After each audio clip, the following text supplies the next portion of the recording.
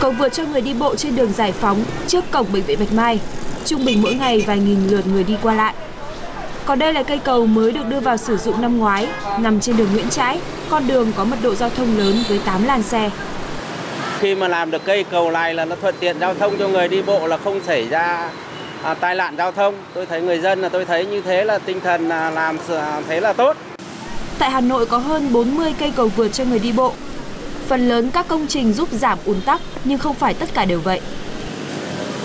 Đây là đường Tây Sơn và ở đây thì có một cây cầu vượt các bậc thang thì khá cao và cũng rất là dốc nữa. Cây cầu này thì có vẻ là chỉ phù hợp đối với lại ờ, người trẻ và những người có sức khỏe thôi, còn đối với những người già thì ờ, đi lại khá là khó khăn. Cô phải dò, cô phải bám mãi cô mới xuống lên đoạn này là cô phải đứng cô nghỉ một lúc, xong lên đoạn nữa cô phải nghỉ lúc ba đoạn cô mới xuống lên đây. Việc xác định vị trí đặt cầu tại một số khu vực cũng cần phải tính toán dựa trên quy hoạch tổng thể. Đó cũng chính là ý kiến của gần 20 hộ dân tại đường Trần Khát Trân, nơi đang có công trình cầu vượt cho người đi bộ được xây dựng.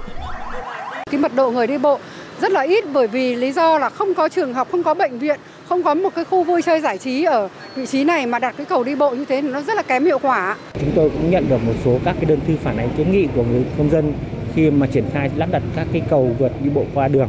Về việc này thì các đơn vị tư vấn khảo sát phải đánh giá khảo sát lại, phối hợp với chính quyền địa phương và xem xét lại cái vị trí đã lựa chọn để có những cái giải pháp đề xuất cho nó phù hợp có thể thay thế về mặt vị trí hoặc có thể đề xuất những cái giải pháp bố trí các công trình đảm bảo về cái việc là hạn chế tối đa cái việc ảnh hưởng đến các sinh hoạt của cộng dân.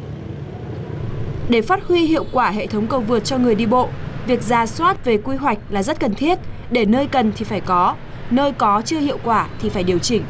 Bên cạnh đó, người dân cũng cần phải tuân thủ luật giao thông đường bộ, không tự ý băng qua đường dưới mặt đất gây mất an toàn giao thông.